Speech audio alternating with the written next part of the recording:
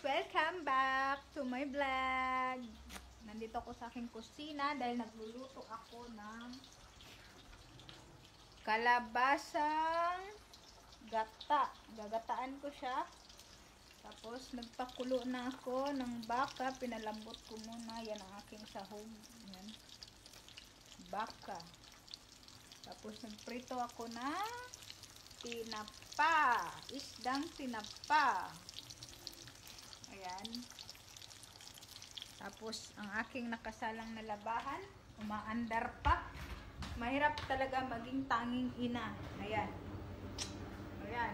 Nakasalang ang aking labahan. Di pa tapos. Mamaya-maya lang magsusundo na ako ng aking estudyante. Ang lamig dito guys. Oh, damo. Para ako sinasakal. Tapos, yung tupiin. Ayan. Nakatambak yung tupiin ko. Nag-aabang yan sa akin.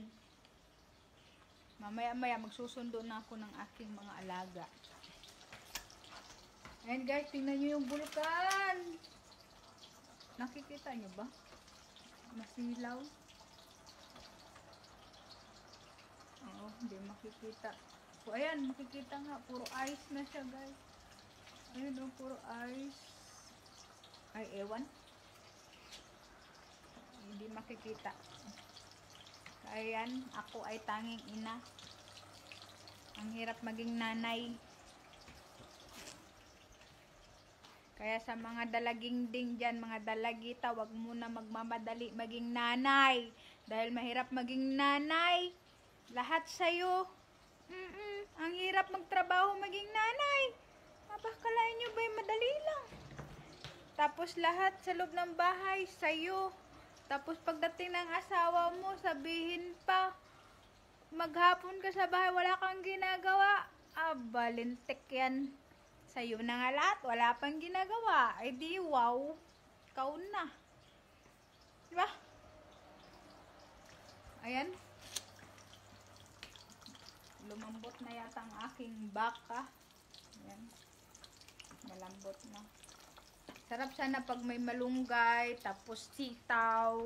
Kaso walang walang sitaw sa malunggay dito. Lalabas tayo, tignan na natin yung at yung ano, yung bulkan. Grabe, nag-a-ice na siya, guys. Sa sobrang lamig.